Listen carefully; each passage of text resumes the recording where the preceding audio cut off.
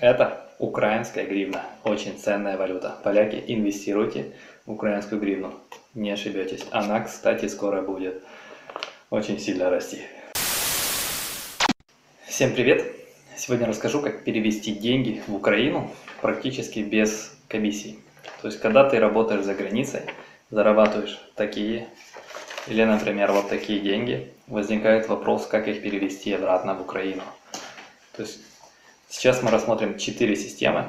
Две это американские, а две британские, которые можно перевести деньги в Украину. Итак, первые две, вы их знаете, они переводят деньги офлайн. Что это значит? То есть ты деньги получаешь наличкой в отделении.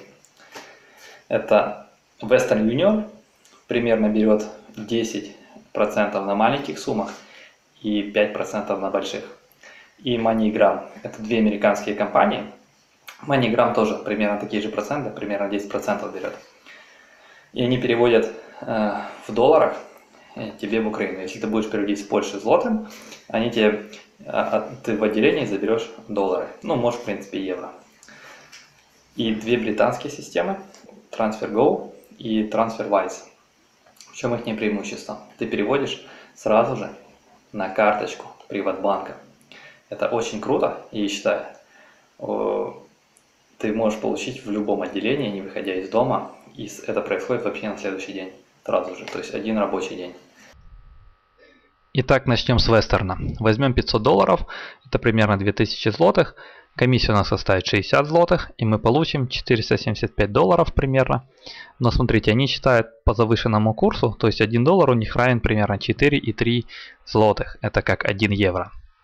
Теперь возьмем MoneyGram. Здесь мы получим на 5 долларов больше, но комиссия составит тоже больше, 85 злотых. Теперь посмотрим британские сервисы. Первый это TransferWise. Чем здесь он мне как бы не сильно нравится, что у него увеличивается комиссия от суммы перевода и второе, это курс не фиксированный, то есть он чуть-чуть может меняться, там правда выйдут плюс-минус пару гривен, то есть ты точно не знаешь, какая сумма тебе придет. Но многие пользовались и очень довольны. Но я вам рекомендую пользоваться TransferGo.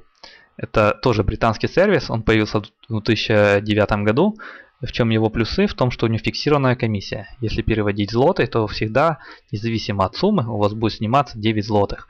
Но все переводы будут идти на карточку Приватбанка. Это есть такой небольшой минус, но в то же время это плюс. Если у вас карточка Gold, вас вообще никаких комиссий не будет. Но можно оформить также и обычную универсальную. Даже можно сделать это онлайн сайта. И этот банк есть даже в каждом селе, так что снять деньги будет вообще не проблема. И чтобы подытожить этот весь итог, давайте все переведем в гривну. Будем считать по курсу Приватбанка и посмотрим, какой наиболее выгодный получился курс для перевода. Итак, если мы возьмем первый Western Junior и отняв все комиссии, у нас получится 12 470 э, гривен, что на практически на 500 гривен э, меньше.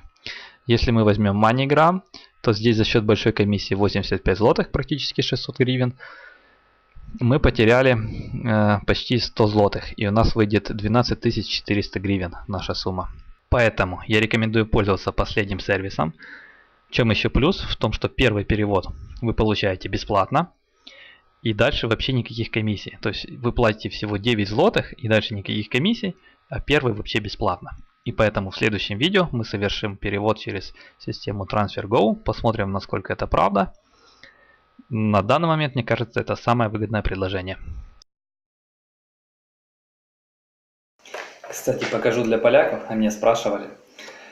Вот это вот украинские гривны, это 500 гривен, самый большой номинал в Украине. Он равняется примерно 70 злотых. То есть курс сейчас 7 к 1.